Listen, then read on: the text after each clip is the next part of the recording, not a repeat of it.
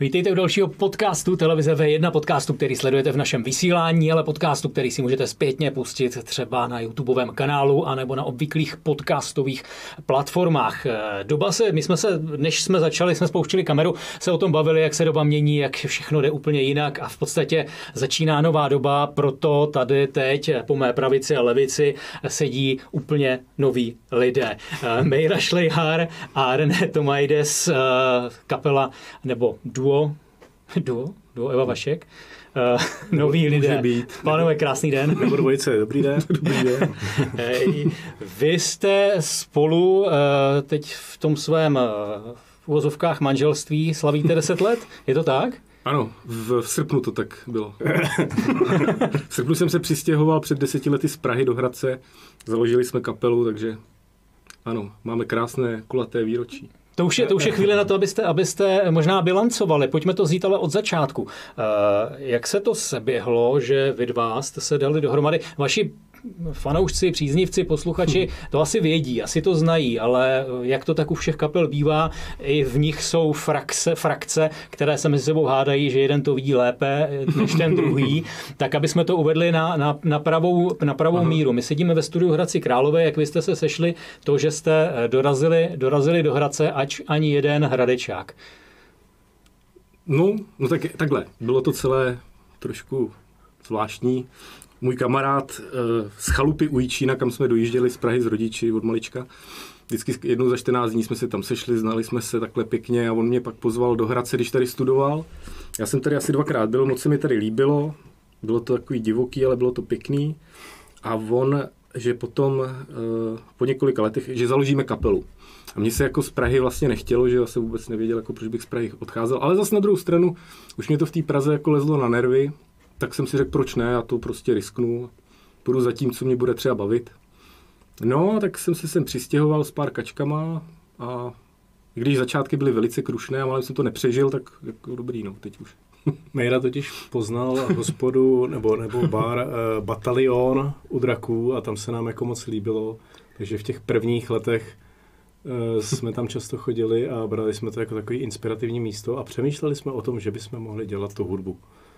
Takže jste, máte takový ten klasický průběh kapela, která se zrodila v podstatě jakoby v hospodě.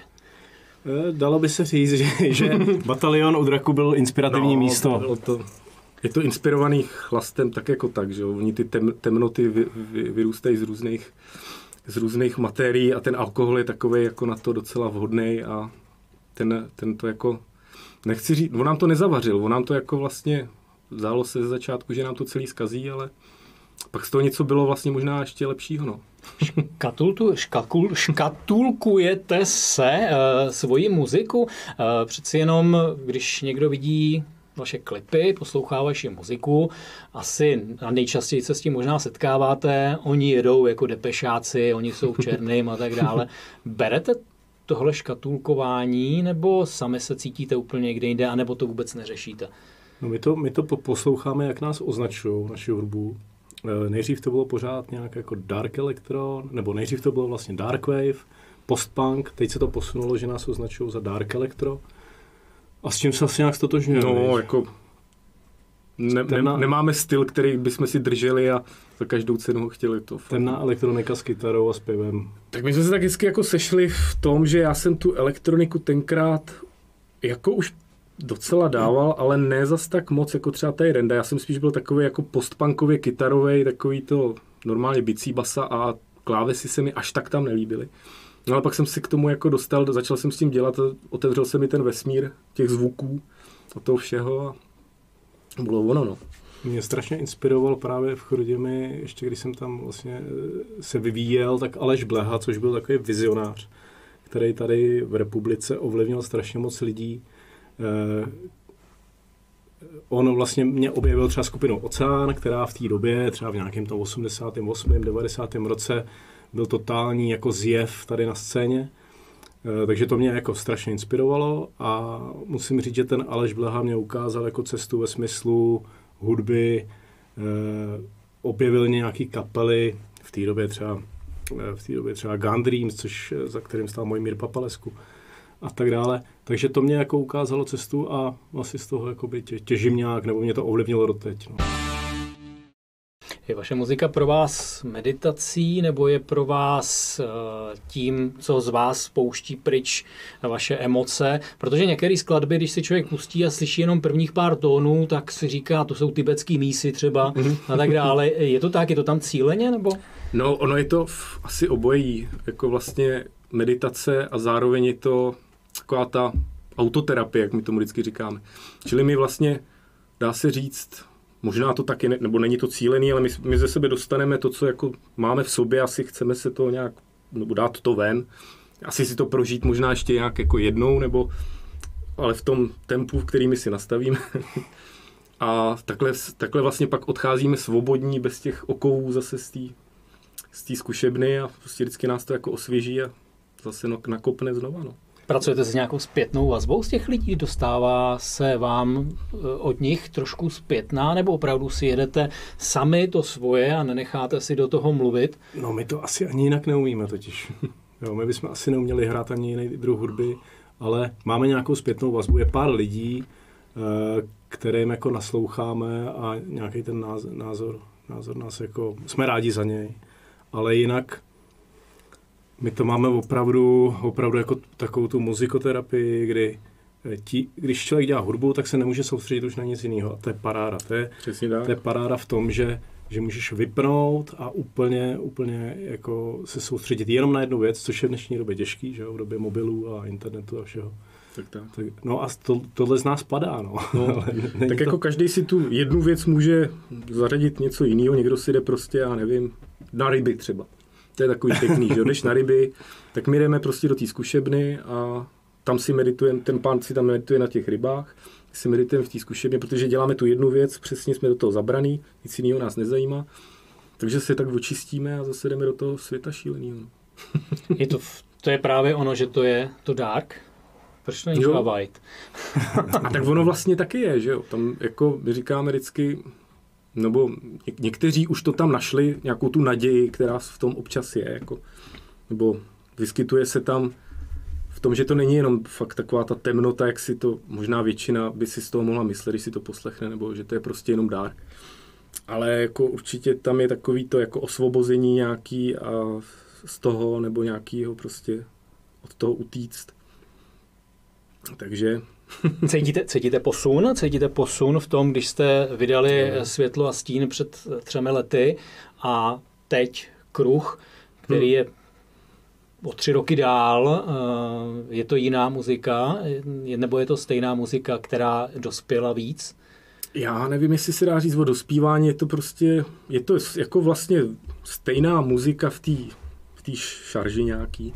Naší, prostě ta naše hudba, to je pořád. Ale mm, prostě tak, jak se vyvíjíme, jak nás to baví, tak to nějak se vyvíjí. No, není to, že by bylo jedno lepší, jedno horší. Ono, Každý... to je, ono to je jiný v tom, že uh, je to teď hodně o těch textech taky, což jako na tom prvním albu nebylo. Tam jsme měli jenom tři věci zpívané. A takže si myslím, že pro někoho, kdo naslouchá těm textům a poslouchá to hodně dokola, tak tam může něco objevit no. zajímavého a tím, že Teď na tom novém albu Kruh je 12 songů, z čehož 10 v deseti jsou texty, tak v tom je to asi jiný. No a vlastně ta zpětná vazba byla, že jako ty lidi jsou radši, že tam těch písní je víc zpívaných, že? Ta doba, hmm. já jsem i tím začínal, že se poměrně jako zásadně změnila to, co jsme eh, znali uvažování a vůbec, co jsme si dokázali představit před nebo loni a co si dokážeme představit teď, tak je úplně diametrálně jinde. Tam se jeví v tu chvíli ten úvod, ty hodiny toho kruhu, hmm. jako hodně, hodně nadčasová záležitost, jakože nebylo to ale tak zamýšleno. No nebyl, jako my nevíme. My jsme si, když jsme Přišlo to, to z vrchu. 13.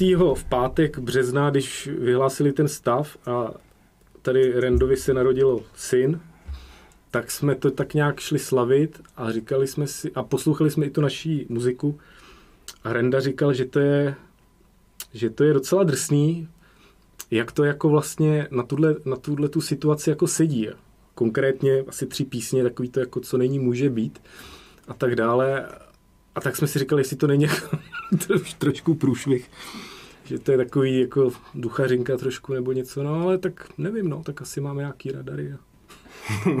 už to rozpoznáme, no. nebo já nevím, no. je, to, je to zajímavý se, v, nebo takhle, třeba k těm svým textům se jako vracím a ono, jak jsou jako vlastně nekonkrétní a jako abstraktní, tak stejně jako si tam i po těch letech najdu něco třeba z, z dneška, nebo ty lidi si tam nacházejí právě ty, ty svoje nějaký jako průšvy, že říkají, to je dobrý, protože ty tam říkáš tohle a někdo řekne, ne, ty tam říkáš tohle, ale oba dva si myslí, že to je vlastně to jejich a je to jako ve finále to je to, co to má být asi. No ono těch významů tam je strašně moc a s přibývající dobou a událostma vlastně to dostává nějaký nový význam. A, a co člověk, tak si no, to může najít něco svýho. Je to takový jako mluva podvědomí, no. A to podvědomí, co my o něm víme. Takže je to ta výhoda té abstraktnosti těch textů je právě to, že se, můžou pasovat, každý si je podle své nálady dokáže přivlastnit. Zní to, jako, zní to možná trošku jako blbě, jako že takový to, ty, ty texty jsou tak strašně laciný, že si tam každý najde to svoje, ale ale on si tam najde svoje právě taky ten správný člověk, že jo? Ten člověk, co ještě nikdy nic jako neprožil nebo nemusel se bát o život třeba nebo tak dále, tak mu to třeba nepřijde tak jako zajímavý, jako ten, co si prošel něčím něco tam najde, že jo. A jsou laciný, oni lacině nevznikali, ne? Oni uh, z těch Vznikali, no. zkušeností, co, jo, jo. tak až tak lacině, lacině úplně nevznikaly, takže... Uh... Ne, tak jako tam, tam to jelo, já jsem jako vlastně od mladých let měl vztah k alkoholu, jelikož jsem hodně jako úzkost, mám to v papírech, že jsem úzkostně depresivní pacient, No a tak jak jsem se s tím tak rval, tak tohle mě jako hodně pomáhalo, no a pak mě to právě jako srazilo. A tím, jak už jsem tak jako se, se Eh, řítil k těm koncům vždycky, tak uh, taky jsem to samozřejmě za sebe vypsal. No, jako co. Nebo když jsem byl v léčebně, taky samozřejmě jsem tam psal. No. Jak to má René? Jak to je tenhle ten vztah právě s někým, kdo Ti umělci jsou všichni takový blázni, že jo. A gor ti, kteří píšou texty a prostě cítí ty niance někde jinde a to je dobře, tak to, tak to asi má být. Ale vy jste no. tam přišel eh, o něco díl a uh, máte ne. tam takovou jako technologickou ne, roli ne. větší. My jsme, my jsme vlastně, jako ten náš začátek byl, že jsme založili kapelu Primitivní rytmy, tam jsme byli čtyři a byli jsme taková progresivní dvojice z těch čtyřech a pokračovali jsme potom dál eh, v, pod názvem Noví lidé a s, a s jiným druhem hudby. No a já, já se snažím to udržet, aby to jako fungovalo, pokračovalo, aby to někam směřovalo a v dobách krizí, kdy, kdy byl Mejra odloučen v léčebnách a tak dál, eh, tak já jsem připravoval to, co bude, až se vrátí, aby jsme se zase posouvali technologicky a připravoval jsem třeba nějaký náhozy nějakých songů, kdy Mejra, když se vrátil, tak vlastně zase to nějak uchopil takže tlačím jakoby tu káru, aby, aby jela nějakým jo. směrem a... No nikdy si to nezastavilo vlastně. A nikdy se to nezastavilo. Jo, takže prostě René si vždycky řekne, hele, Mejra, Mejra je teďka na, na, eh, na, semináři emotivním. Už šest let jsem nebyl na turné naštěstí, takže přes šest let, no. Ale jo, no, tak bylo to, bylo to hodně zajímavé. No. Ale ono v těchto období, kdy, kdy jsme měli takovýhle nějaký jako třeba tříměsíční, čtyřměsíční přestávky, tak ono, jak to je strašně jako technologicky náročný se naučit to různé programování těch synťáků a, a propojení a vůbec tu technologii, mm. tak já jsem aspoň se mohl věnovat uh, učení se, protože to je vlastně učení se do nekonečna, jo, to nikdy jako nemůže skončit, takže jsme se aspoň mohli jako technologicky třeba někam dál posunout. A, a já měl naději, že se zase vrátím do té kapely a no. neusneme mezi tím. Na to pojede dál. Jak vás zasáhla ta současná doba, ty zákazy vycházení, otevření klubů, eh, prostě jeden zákaz vedle druhého, prostě něco, co jsme, co jsme doteďka nezažili. Eh, jak to zasáhlo tvorbu, fungování kapely? Pro vás to není full job? Ne, ne, ne. Pro nás to není, pro nás je to jako koníček nebo relaxace, nebo nebo nějaký náš druhý takový job. Ale no jak nás to zasáhlo, no tak pro nás bylo dobrý, že jsme vydali naše album na začátku dubna. Říkali jsme si, jestli s tím máme počkat. To znamená, pracovali jsme na tom, řekněme, celý minulý rok nebo leta a dosměřovali jsme to, že jsme někdy v únoru 2020 odezdali data Mojmírovi Popaleskovi, který nám udělal mastering a vydali jsme to album někdy v tom dubnu. A tak jsme rádi, že jsme to jako vlastně ještě před nějakým úplně tím brutálním no, lockdownem. lockdownem vlastně, nebo na začátku vydali. Než čekat, jak to Včetně bude. klipu připraveného, který už jsme taky točili někdy v únoru nebo v lednu a měli jsme to připravený.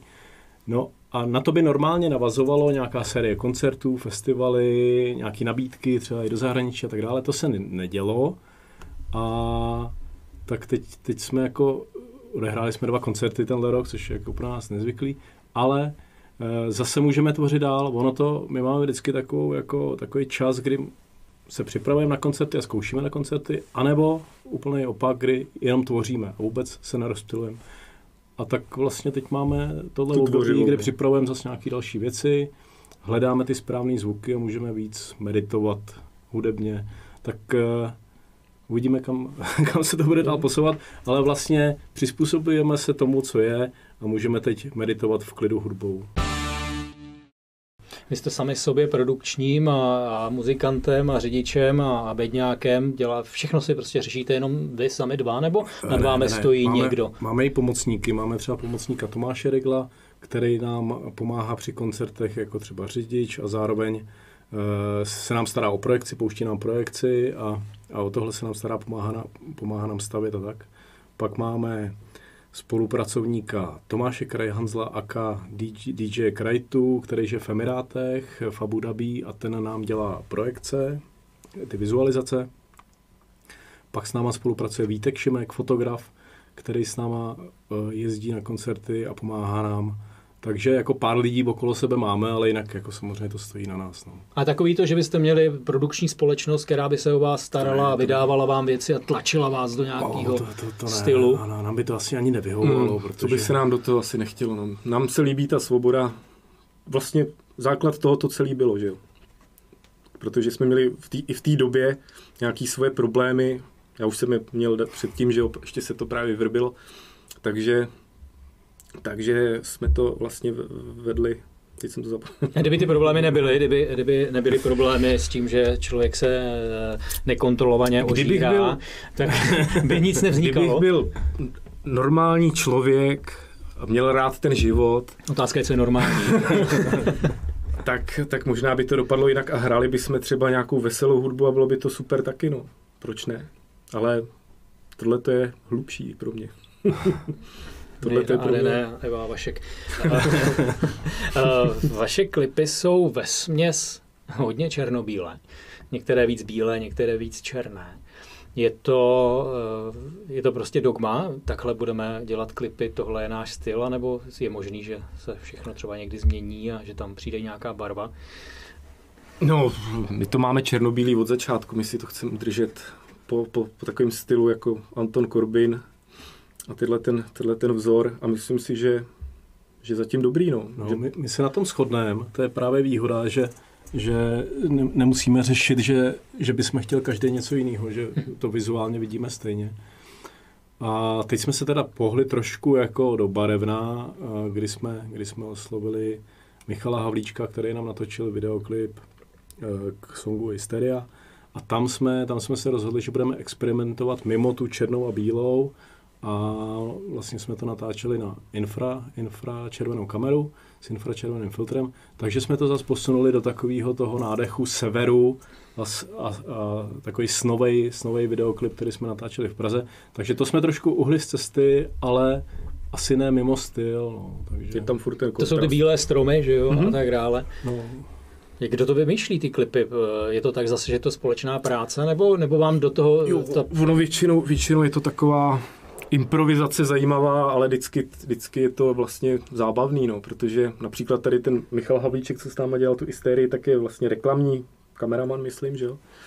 A konečně si mohl udělat něco volně, že jo, protože už byl taky otrávený z práce, že pořád dělá to, co tak, eh, tak vlastně to vzali, jsme do té Prahy, pořádně jsme ještě nevěděli, jaký místa. Já jsem pak vzal kluky na místa kolem Pražského hradu, kde vlastně jako dítě jsem si tam hrál, protože jsme bydleli kousek tam v Břevnově, což je od hradu 20 minut. A ono se to povedlo, no a i Michalovi se to právě líbilo hned, věděl už co, už jsem už to nacházel ty místa a vyšlo to hezky, no.